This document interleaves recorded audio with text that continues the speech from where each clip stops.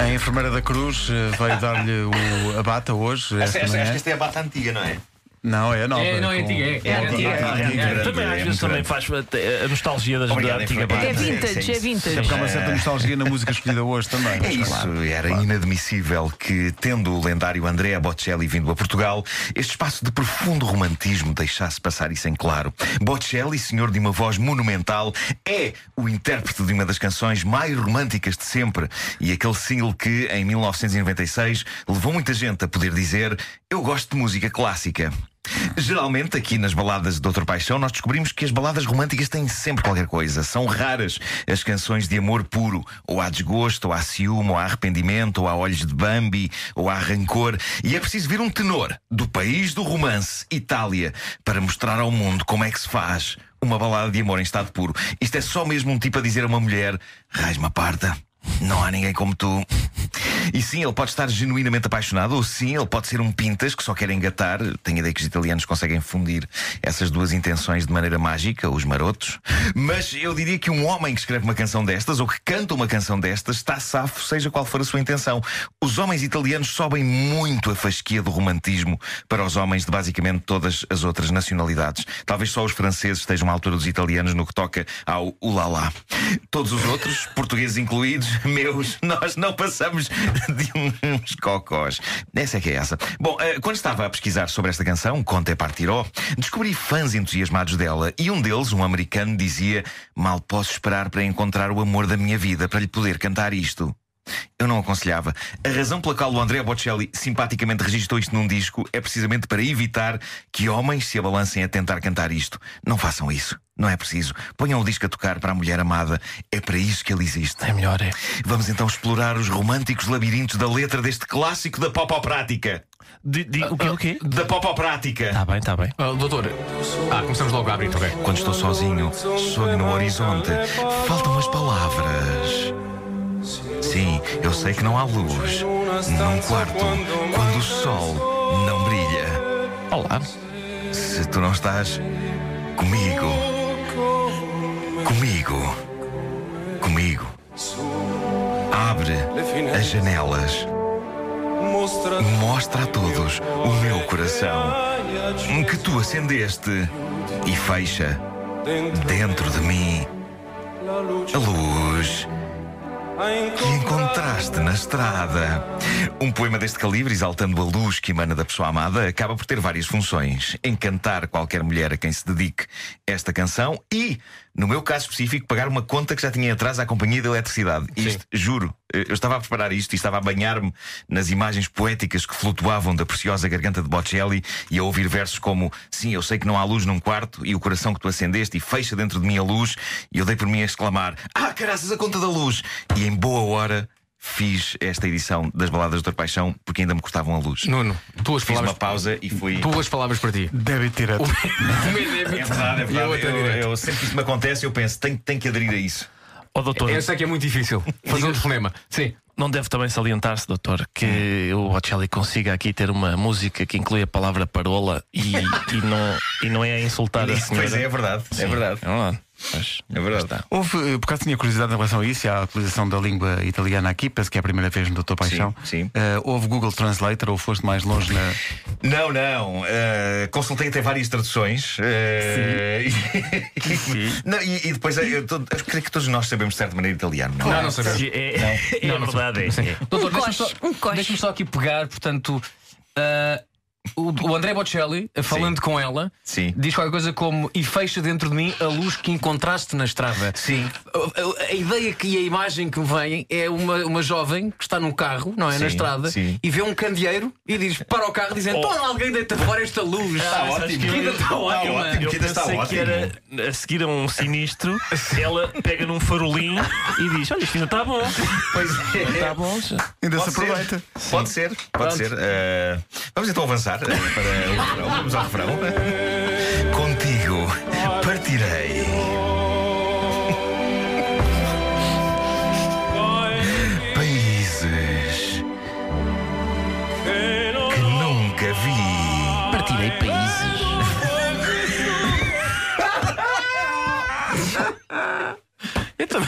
Não falta aí nada. Não é, não é vou visitar os Não é, países. uma, ou- não é uma música de concórdia, isto é para separar países. pá. Contigo partirei.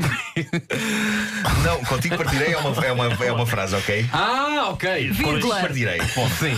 Ok? E depois ele começa a especular países que nunca vi. Estás a Ah, perceber? já percebi. Com- Ok, ok, já percebi.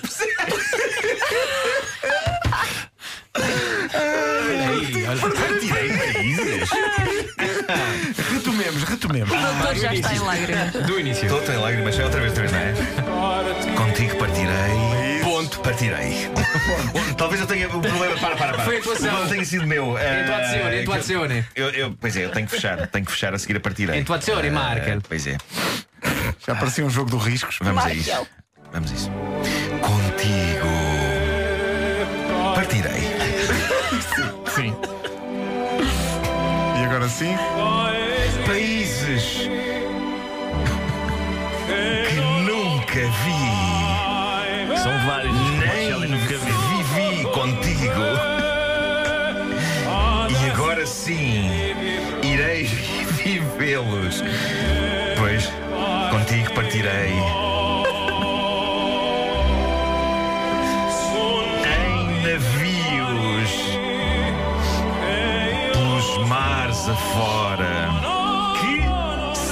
Bem, já não existem.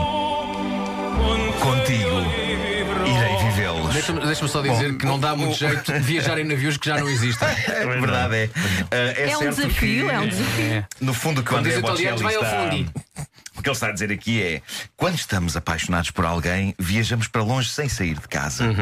O estado de paixão projeta-nos para outras dimensões. No entanto, esta questão dos navios merece uma observação, até porque pode haver pessoas a fazer de facto leituras eh, mais literais desta letra. Eh, é evidente que a canção tem um certo espírito velha escola, não é? E este imaginário náutico transporta-nos, no fundo, aos tempos clássicos em que as pessoas se deslocavam em navios para todo lado. É quase uma canção com um certo ambiente Titanic.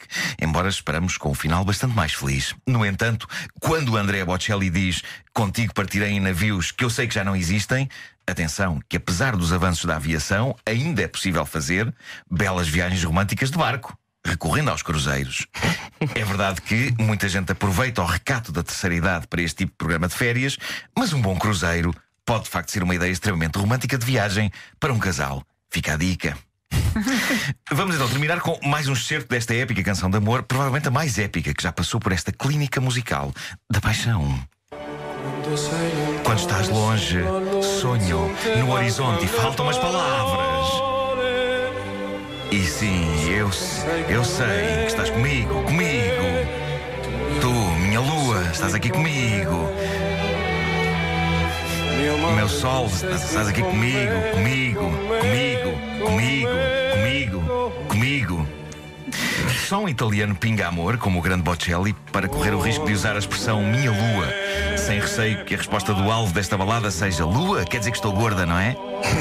Mas não, assim que ele diz que ela é também o seu sol, fica claro que isto são imagens a um nível celestial e não desagradáveis observações sobre peso. Enfim, muito têm os homens do mundo a aprender com Andrea Bocelli. Eu sempre pensei que eles estavam a jantar, doutor. Por ele estar a comer, comer. Comer, comer.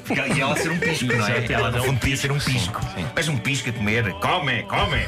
Bom, hum, muito têm os homens do mundo a aprender com o Dr. Bocelli e também com o Dr. Paixão, sobretudo com as frases românticas inspiradoras de Facebook, com pôr do sol atrás, que ornamentam o fecho de cada um destes episódios. Eis a de hoje. O amor é como a gota de mercúrio. É preciso manter a mão aberta para retê-lo. Se a fecharmos, ele escapa. Isto é uma frase que pode requerer uma experiência para ser comprovada. Geralmente consegue-se analisar as propriedades do mercúrio partindo de um termómetro dos antigos. Mas não aconselho, porque aquilo é vidro e depois pode cortar, pode ver chatice desagradável, sobretudo com crianças. E não se consegue apanhar depois as bolinhas de mercúrio. Isto é Não, uma não, frase não, para amor entre engenheiros químicos, se calhar, doutor, não é? Sim, sim, é sem dúvida. É. Sem dúvida, pode ser substâncias. Isto é épico, hein? Pois é. Come, come, come. Já, já agora deixa ir até ao fim. Ele agora faz aqui um rebentamento. É faz? isso, é isso. Pois, pois, E pois. agora?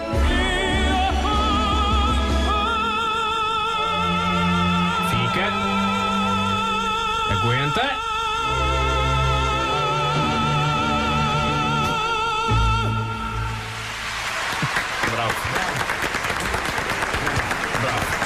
people. Ooh.